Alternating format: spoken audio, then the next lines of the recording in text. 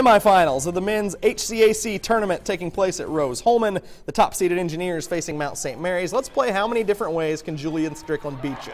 First, he uses the rim, fends off the defender, inside buckets. Now the catch and shoot from three, perfect stroke from deep. It's down, he's pumped. Engineers up by eight. You just said this is a Julian Strickland highlight? No, we have one more. Oh, okay. Of course, he can create on his own too. Strickland breaks down the defender, gets the mid-range jumper to go. A big game for Strickland, as you can see. But remember, other guys can rise to the occasion too. Can't touch Jimmy. Jimmy Miller, the benefactor of some nice interior passing by Rose-Hulman.